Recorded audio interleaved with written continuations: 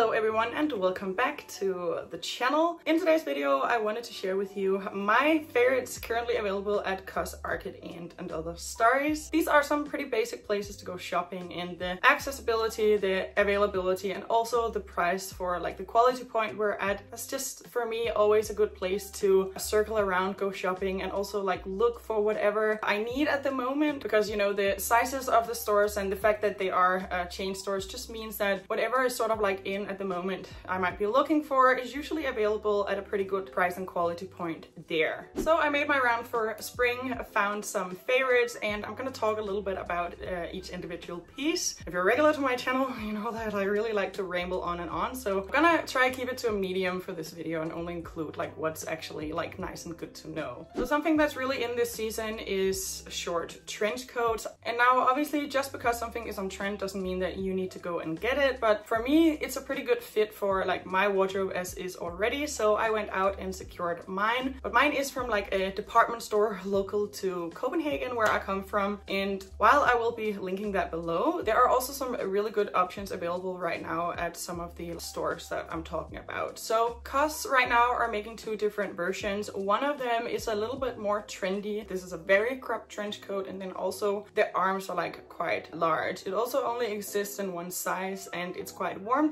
tones. I think this is probably primarily a good option for those who are a little bit more like out there and want something with a little bit more of like a twist instead of like the classic style, which is something that I usually like to get. This one is made of cotton and then also has a little bit of polyester in it, but just in my experience with these brands for a lot of items, if there's just a bit of polyester in it, it doesn't really matter. It's usually pretty like good quality and steady quality uh, regardless. But COS also do have another option right now, which is uh, definitely a little bit more classic. It has a very like straight cut and the fabric is very like stiff in a really, really nice way. So it's really well structured. It's one of those things where like it's probably not gonna wrinkle a lot, you know, it'll sort of like take care of itself. And um, even though it's really thick, it's made from 100% cotton and then it also has like a viscose lining. I have a cool tone wardrobe and this is quite yellow. The one that I bought from, from for my wardrobe is a little bit more oat, but there are just some warm color, colors that goes with a cool tone wardrobe and vice versa. And my opinion, I mean, this is a great fit for like a one tone wardrobe, but it also worked out quite well with like the, the cool tone base outfit that I was wearing. And about the base outfit I'm wearing, by the way, I'll be wearing this in all the stores. It's just because I like to go shopping in something that I would actually wear. And then, you know, I get to see things like work out with my wardrobe. But yes, this is definitely like a really good option where the one uh, showed right before, you probably need to look after it a little bit more in order to like keep it looking good as you are wearing it. And I'm gonna move on to like what else is available at COS, but I just want to throw two more trench coats in here right now that I didn't try on because they weren't available at stores in my area. But actually one of them I bought and returned and that is the one currently available at Arket. But this one does have a, quite a significant cut of linen to it and it means that as soon as you like put it somewhere and put it back on, it looks quite wrinkly. Like in my opinion, it really doesn't keep itself looking good. It's quite high maintenance in that case and maybe that's just how I associate a trench coat. I really feel like a trench coat should have that more like a stiff cotton-esque look. So I would, uh, just personally, this is not for me. This is something that I would pass on just for the reasons that I'd already mentioned. But then there is one more option also available for this uh, trench coat trend at these stores, and that's the one from And Other Stories.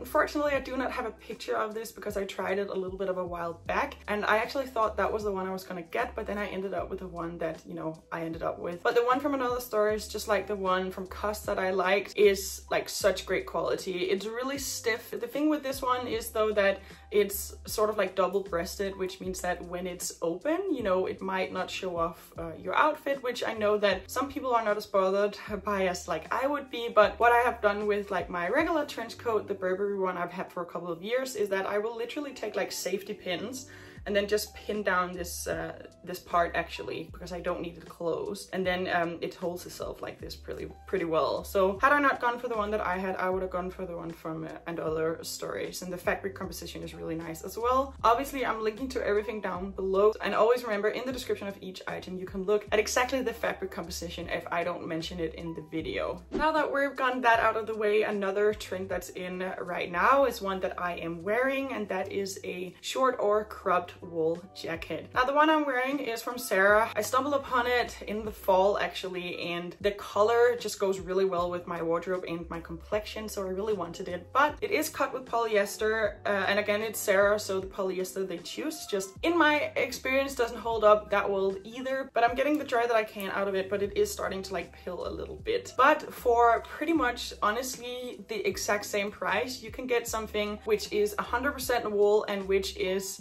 proper felted fabric that is not really gonna pill. I will have a folder with all of my favorites linked below, but the one which is available at COS right now, which I found in store, is the gray one. They do have ones just with buttons, just as with this one, which are also really high quality. But what I really like about the, the gray one is that it does have a zipper and it also has buttons, but like the zipper closing, I don't know what it is about it. To me, it just makes it look really expensive. And again, the fabric is really thick because it is 100% wool. It falls really beautifully beautifully and I haven't tracked the wear of this obviously because I don't own it but this is usually something which in my experience will hold up for like pretty much you know ever like it's a permanent piece within your wardrobe. Yeah I mean that's not really the purpose of this video but I could come up with so many nice ways to wear this jacket so this is probably one of the things that I might actually end up adding to my ward own wardrobe even though I haven't done so yet but like adding something like a red bag to this uh, yeah, it will look real good. Then I also saw a very thin uh, wool cardigan. I'm not gonna get too into it because it is just a wool cardigan, but because it is so thin, it's something that's really easy to keep with you. And now that we're entering spring, you know, we're wearing these nice spring jackets, but sometimes we might need to bring something like a sweater or an extra layer. And this is just a tip I really like to, to follow for myself. I usually have actually like a slightly thicker cashmere cardigan with me on these types of nights so that I have something that I I can add to my outfit that doesn't take up a lot of space as I carry it around. And because this is so thin, this is definitely it. So I probably wouldn't style this. This is just something that I would uh, keep around as a layering piece. But I just wanted to show you guys that that's available right now at COS. Then I am usually asked about quality basics and this is something that I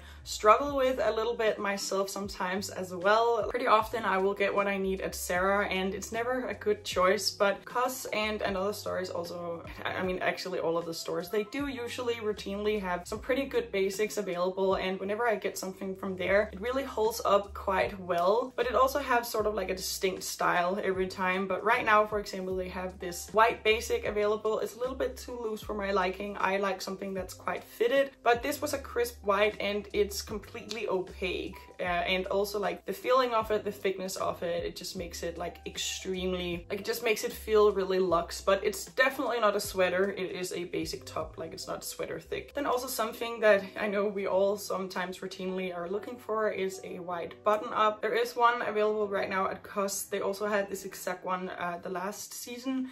I haven't gotten it yet just because I'm really not budgeting for a nice white shirt right now. Like I do have something already within my wardrobe which I use. But if you are on the market for that, then this is just such a beautiful option. I usually feel like I have the problem that these button ups are either like completely form fitted or they're too oversized where this is just like right there in the middle and yeah, pretty thick as well, almost opaque. So just wanted to show that option as well. Then, you know, obviously this is my channel, so I am gonna pick out the things that I like and I have been riding the denim wagon uh, this, this season around. I really like that trend is back. I've always been a big fan of denim and right now they have this like form-fitted mini dress with these like frayed sleeves and it's just so cute. I might get that one as well to be totally honest, but then again, it might be a little bit of a fantasy item in a sense where like it's not something that I'm gonna be wearing that much, which in and of itself is not such a big problem but I've already bought a couple of things like that in denim this season already, so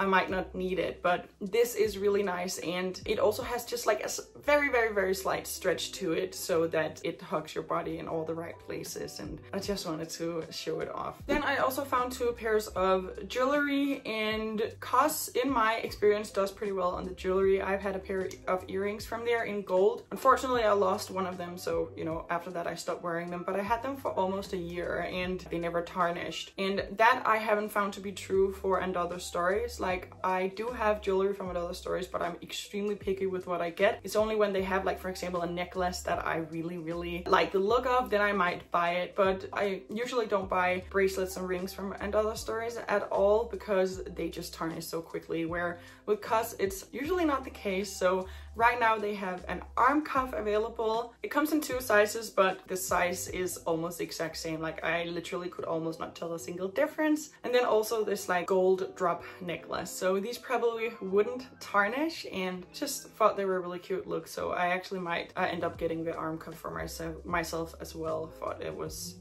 really nice. Then we're moving on to my favorites in another stories and first I'm just showing something that I didn't try on for this video but just wanted to show them and that is these red shoes because right now a pop of red is really in and I don't have red as part of my color scheme but I'm not gonna lie it is pretty cute and I'm also tempted to uh, break my own rule and, and get something like that but I'm still I'm still contemplating it but these shoes I have them in black the near identical version of them and I just just wanted to mention these because it's so tempting to go and get something like this because it is a trend in something like Zara and H&M. I have also done that, but just in my experience, I don't walk as well in them. They don't last me as long, but the black slingbacks that I have from other stories, I have worn them probably like 14 to 20 times and they hold up very well, but more importantly, they are really comfortable. And just, I mean, if you're anything like me, if you buy a good looking shoe, but it truly is not comfortable, you're just not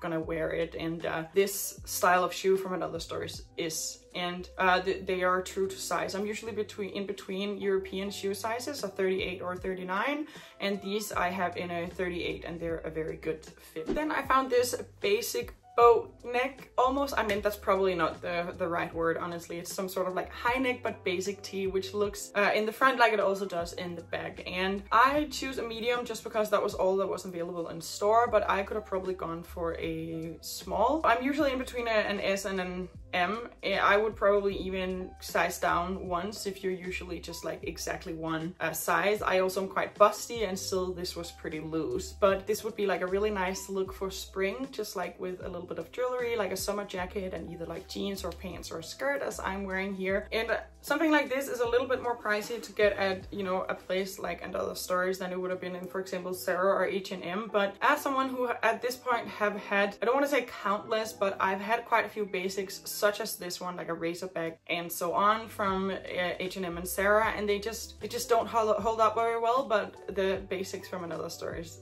do. So this is something that's available right now and it also comes in a beautiful sage green, which again is not part of my color scheme, but is definitely a really cute look. Then I tried on a top, which is not my best look, but I do tend to go for tops like this. And I have three right now in my wardrobe, so I do not need this, but you know, I was drawn to it, so I just wanted to try on, uh, try it on anyway. But if you like me, you like these tops with like a slight romantic twist, I just wanted to mention that those at & Other Stories, uh, because & Other Stories as compared to Cousin Arket does have a little bit of uh, a more like feminine or romantic twist to it. And the tops you can get at & Other Stories with this type of design are usually just so well made. Like the pattern is well made, it looks really good, it hugs you in all the right places where it's not always the case for every brand where they make this type of top. So just throwing that in there. Then something which is such a good basic to have. It wasn't the best fit on me, but right now they have a leather skirt available available. They actually also have another leather skirt available, but it was such a bad fit. I didn't even include it in the video, but we'll pop it up up here.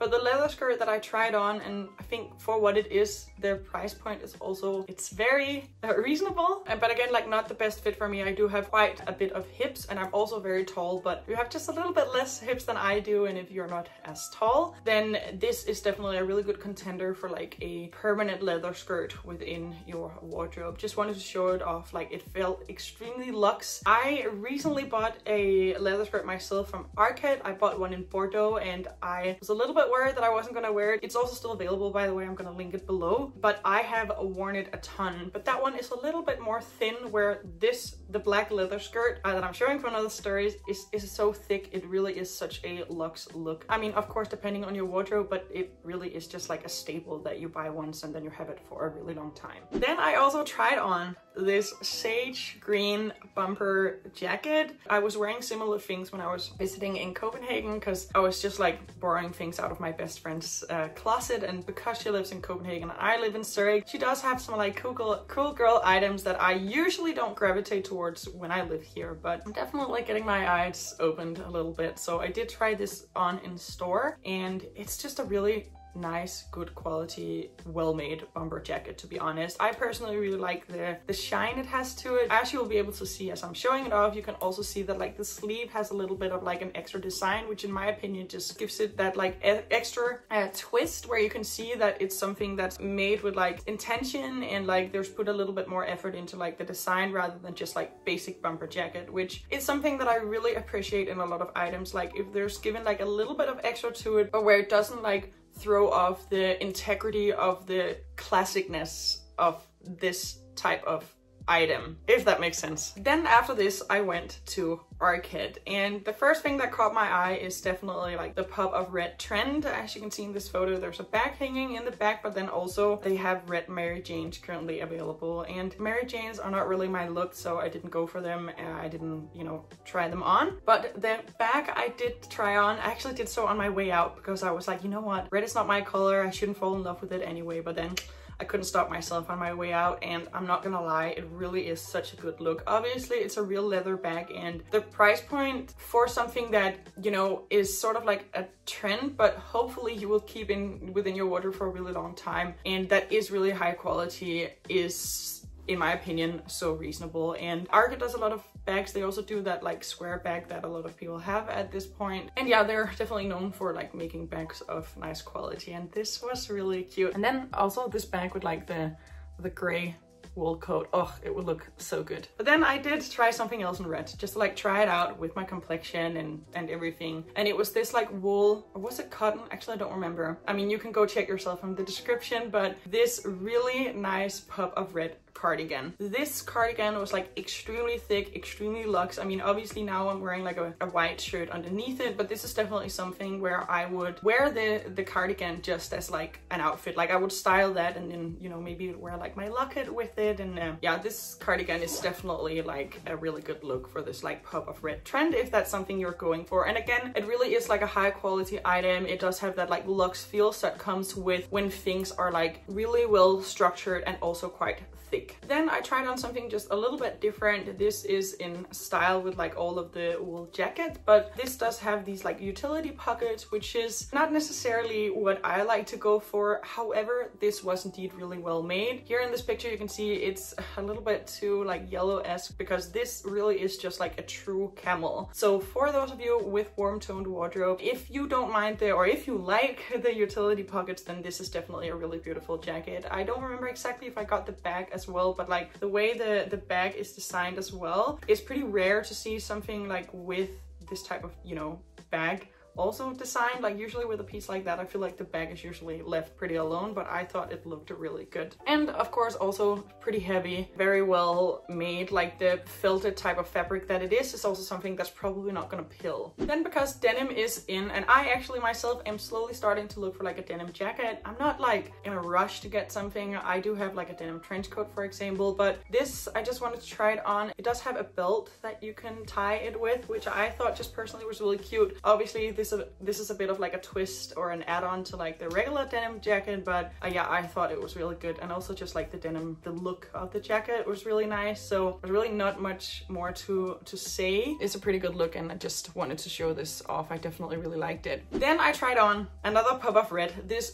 beautiful silk dress from Arket and this is not the first time I've seen this dress. I've seen it in different colors. I think I've actually also tried it on once in pink and I don't particularly like this type of tub for my body type, so I never end up getting them or, and I won't, but I just wanted to include it anyway and try it on and get a feel for like the fabric because it is silk and the way it's cut it makes it fall really beautifully on your body. And I noticed, for example, that Zara right now has a similar dress, although it's a little bit more of like a slip, slip dress, but also in a very beautiful red color. Of course, that one is satin. It's made from not viscose, but polyester. And in my experience, those dresses from fast fashion, they will start like wrinkling and also like the, the fabric will start like snatching and it will really destroy this like beautiful, sleek, silky look that these dresses, you know, they, they have to them and you will probably pretty quickly end up not wearing it. Where like when you get the real deal silk or even viscose, I have one from Massimo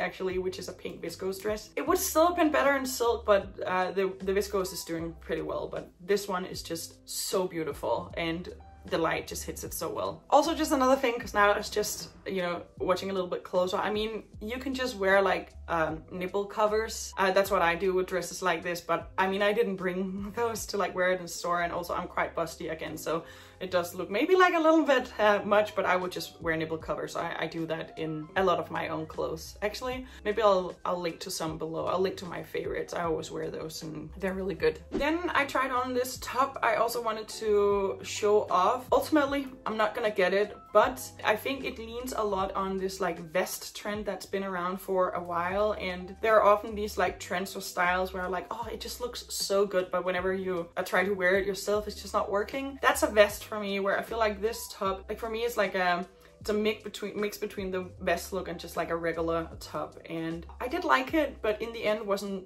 the best fit and just knowing myself I have better versions of this type of look already at home that I would probably wear over it but again here like the quality is also really nice and it's a very like structured and thick fabric. Then a couple of basics. I'm just gonna breeze through these next two. One is this like boat neck in baby blue. It's not the best fit because they quite simply didn't have it uh, in, a, in, a, size that fit me. I tried it on, on in a medium. I have probably done with a small, if not even like an extra small.